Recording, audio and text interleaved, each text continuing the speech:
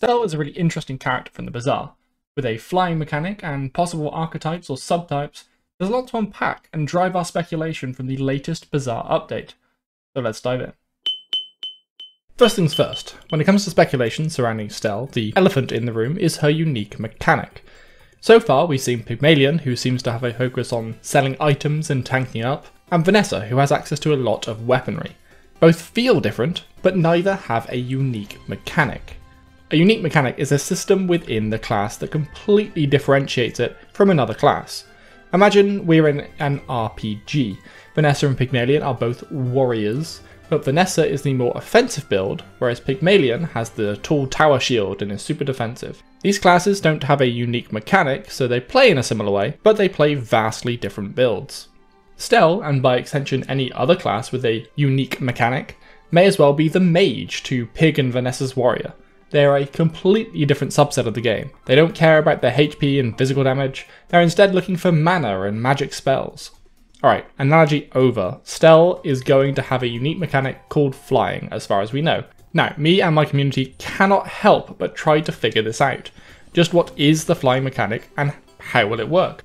Before I dive into this, if you're interested in joining in these discussions, there is a link to our Discord down in the description box below if you'd like to join us.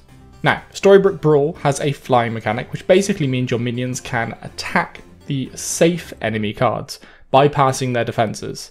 In any other game, this kind of makes sense, but this isn't a typical game. We already target the enemy directly, so what could flying be?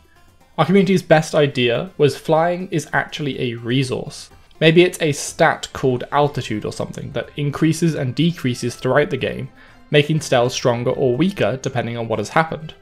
Many other games add a new resource to differentiate a class, giving it a unique mechanic. Going back to our original analogy, the warrior class in your game might not even have mana to manage, but the mage gets this new minigame of keeping mana flowing correctly in order to play efficiently.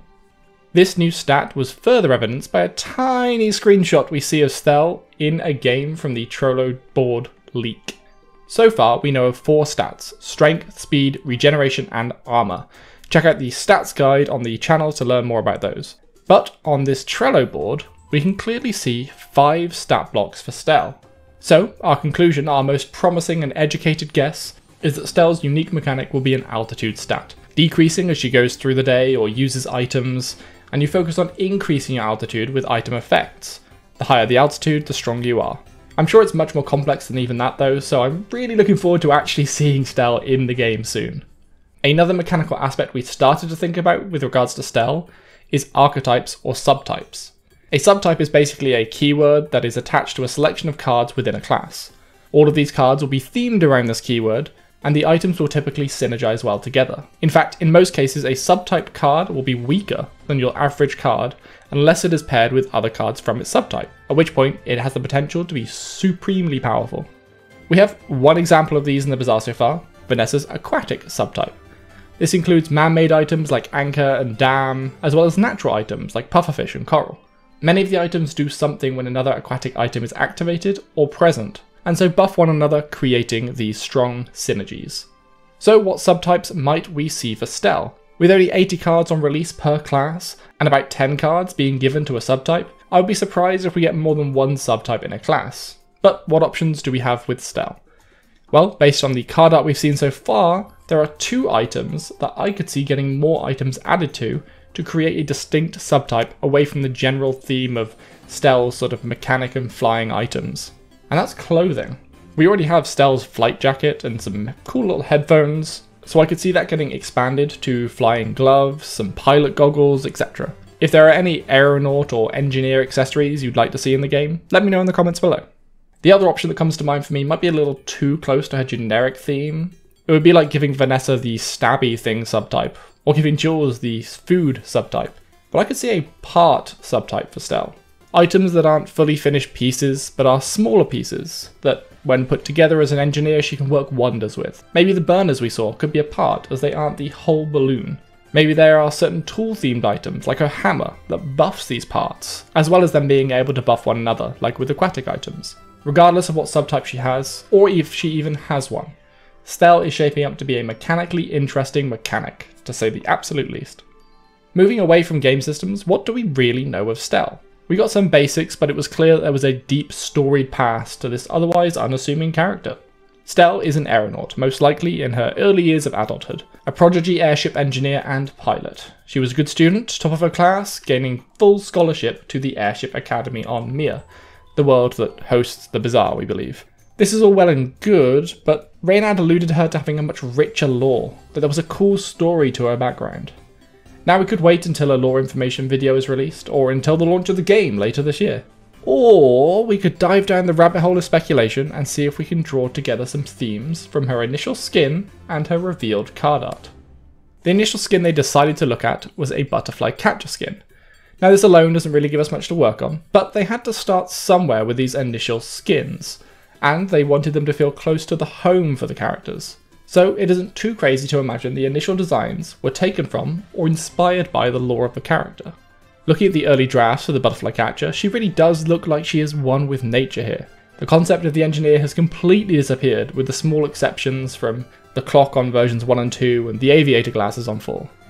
Otherwise, she seems to be wearing gardener type clothes and has her hair up out of the way for exploring nature.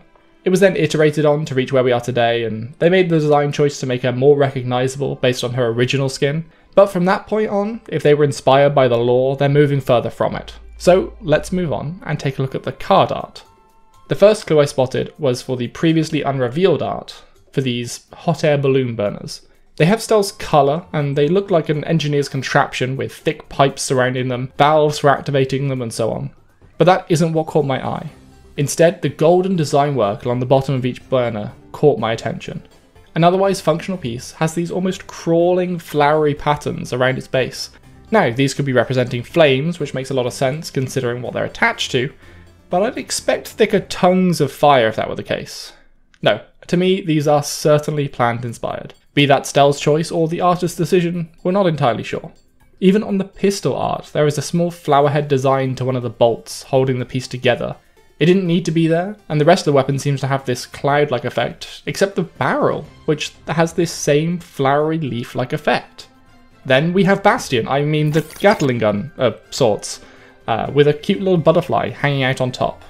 This could be included because of a butterfly catcher skin, or because Stelle's lore is steeped in nature. Wouldn't it make an interesting character full of internal conflict, a nature-loving butterfly catcher in her younger years, becoming a world-renowned pilot and engineer in her adult career, balancing advancement and technology with nature and serenity? It would also explain her vibrant colour palette. Anyway, I hope you folks are just as excited to see Stelle as I am. She hasn't quite taken the queen status from Jules for me, but I will certainly be rushing to give Stelle and her flying machines a go when the Bazaar launches later this year. Don't forget to like and subscribe if you want more Bazaar content, there's plenty more to come here. I've been Gamesplay Greg, and I'll catch you in the next video. Ciao.